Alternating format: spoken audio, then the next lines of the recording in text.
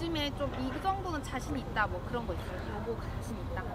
사실 제가 달리기적인 부분에서 많이 보여드리지 못했다 생각했는데 어제 그 모습 보고 뭐 빠르다고 이렇게 얘기해 주셔가지고 그쪽인 부분에서 뛰는 것까지 이제 여기서 보여드리고 싶습니다. 어제 몇 얼마나 나왔어요?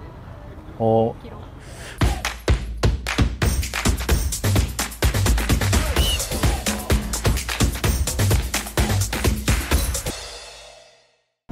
우선 스프링 캠프 네. 와 보니까 어때요? 호주에서 하는 거는 네. 처음이실 것 같은데. 네네. 일단 제가 신인 때 참가하고 2년 만에 참가하는데 이제 선배님들과 다시 하고 있다는 게 약간 영광으로 생각하고 있고 아무래도 첫해 한평에서 캠프를 했는데 여기서 하니까 확실히 기술적인 면에서 확실히 도움이 많이 된다고 생각하고 있습니다. 기상 기간이 길었어요. 네네. 그것 때문에 아쉬움은 없었어요. 개인적으로. 어, 같아요. 사실 많이 경험할 수 있는데 그렇지 못한 게 가장 아쉽긴 한데 어제 찬호 형과 웨이트 하면서 얘기한 게 있는데 확실히 제가 몸이 많이 커지고 좋아지고 힘이 세졌다 보니까 이걸 계기로 더 잘할 수 있을 것 같다고 좋은 계기가 된 것 같다고 얘기해 주셨습니다. 어, 일단 아픈 것은 전혀 없고 확실히 어, 2년 동안 재활하면서 더 몸이 건강해지고 좋아진 것 같습니다. 어, 일단 당연히 첫 번째는 부상 없이 하는 게 목표인데 일단 제가 가지고 있는 강점들을 코치님께 좀 많이 보여주는 게 여기 와서 가장 큰 목표입니다. 저희가 오기 전에 찾아봤었는데 호주 리그 가기를 원했었는데 기술 훈련 때문에 무산됐다 이런 기사를 봐가지고 뭐 어떤 기술 훈련 중이었는지 궁금해가지고요. 일단 사실 처음에 질롱 코리아로 합류할 것 같다고 들었는데 질롱 코리아가 이제 없어지고 나서 이제 뭐 캔버라로 12월 달 중에 들어가기로 뭐 들었었는데 이제 트레이닝 파트 부분에서는 조금 아무래도 재활을 오래 해서 기술도 안 했고 해서 그쪽인 부분에서 아마 재활을 좀 더 오래 하, 오래 하고 캠프에 맞춰서 몸을 만들면 더 좋을 것 같다 하셔서 아마 취소된 것 같습니다.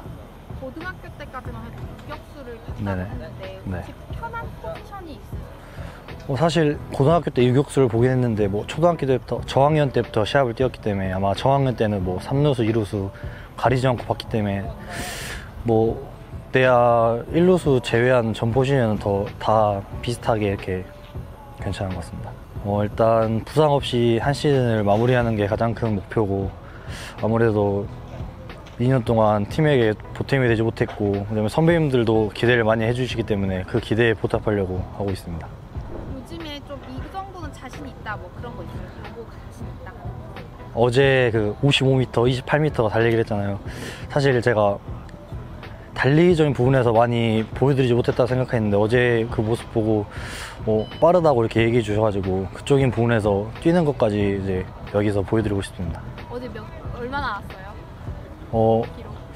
28m가 4초 4대 나오고 55m가 7초 6, 7 나왔는데 아마 야수 부분에서는 그래도 거의 가장 빨랐다고 얘기해 주셨습니다. 저희가 찾아보니까 팬들이 윤도현은 아프지만 않으면 된다 이런 네. 평가 많던데 네. 팬들에게 한 말씀 해주신다면 어, 이렇게 너무 많은 기대를 해주셔서 너무 감사드리고 보답할 만큼 2년 동안 준비 너무 열심히 했고 올 시즌 아마 기대하셔도 좋을 것 같습니다.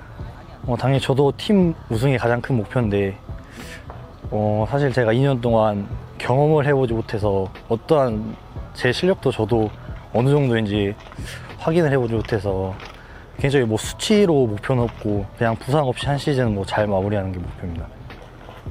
네. 네. 감사합니다. 네, 감사합니다. 네.